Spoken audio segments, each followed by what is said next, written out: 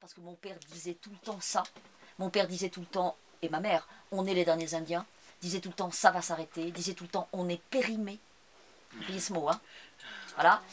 Donc, euh, ceci ajouté à une circonstance exténuante qui est que, ayant mordu dès l'enfance au, au, formidable hameçon de l'école, et ayant contracté à l'école euh, le goût des mots, de la phrase et du récit, et m'étant dit à l'école que si un jour j'avais une place dans la vie, ça serait dans l'écriture, et bien si vous voulez, au bout d'un certain temps, et après avoir adopté un certain nombre de stratégies d'évitement, euh, mais au bout d'un certain temps, donc à 34 ans, je me suis dit, ben maintenant tu y vas, c'est-à-dire tu écris.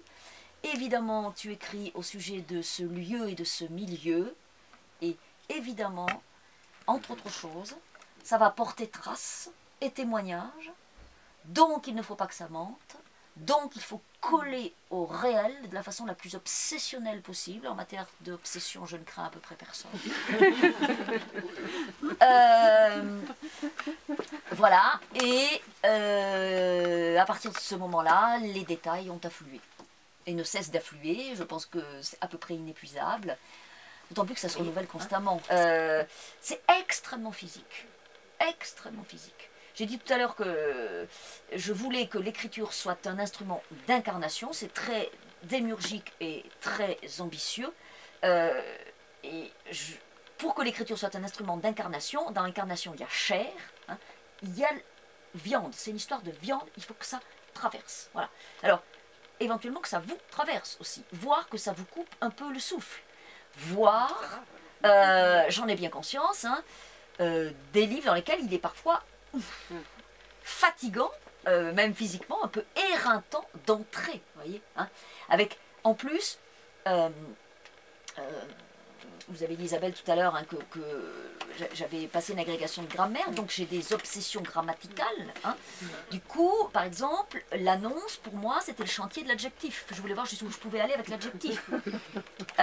les pays c'était le chantier de la proposition subordonnée.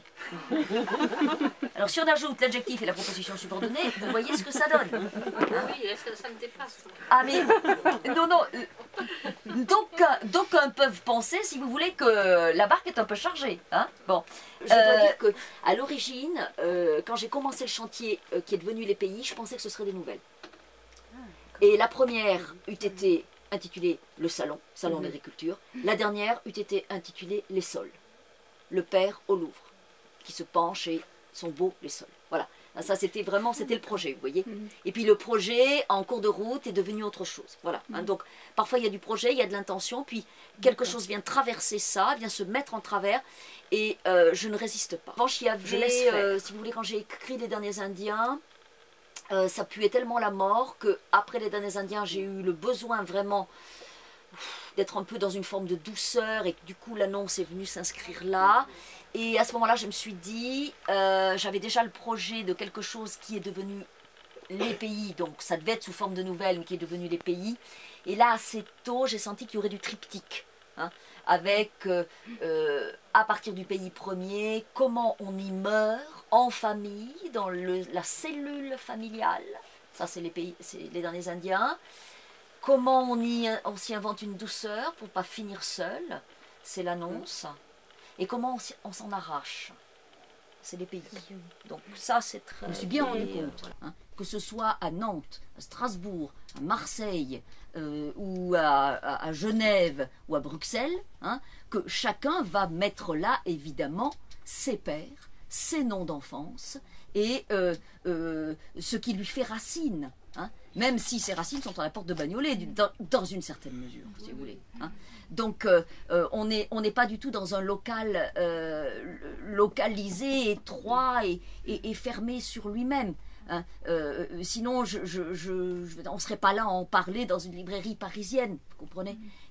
Voilà, je crois que chacun vient de quelque part, que ce soit un lieu ou un, milieu. Et, et, au fond, mes livres parlent de ça. Voilà.